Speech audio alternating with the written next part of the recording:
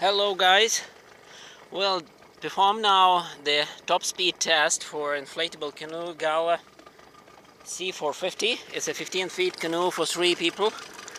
We have 8 horsepower motor on board and one person like 82 kilos plus 5 liters of gas.